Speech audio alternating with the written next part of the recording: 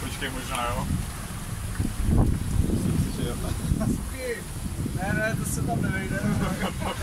Au, tak vidíš. Ooh, another cave again.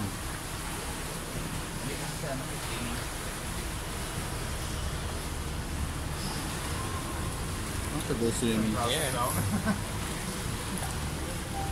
No jo, já jsem říkal, že nějak má. Malalim pa.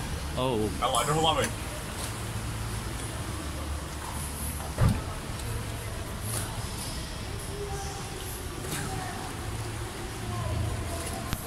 For the they tried to fight for a long, long time.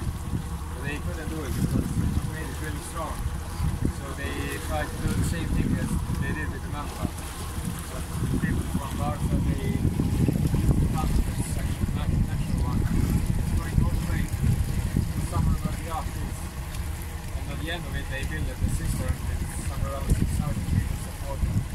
So they actually never won and never get out the supplies. It was really quick war. Uh, Who didn't Men have Napoleon that? built it. Napoleon. Then later on, somewhere in the middle of the World War II, the Germans hired a guy from Austria, Karl Mamula, to build a prison here. So, well, this place here is called Mamula. Well, actually, the Mamula is the prison that is on the island Lastavica.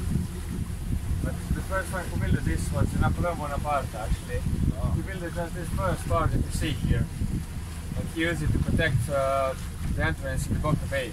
And alongside of it, it was the Arza Fortress down there and the Saint Michel Fortress on the Croatian side. And actually, your Austrian member made it pretty good because uh, no one made That's great already. You can, you can see the border. White spot.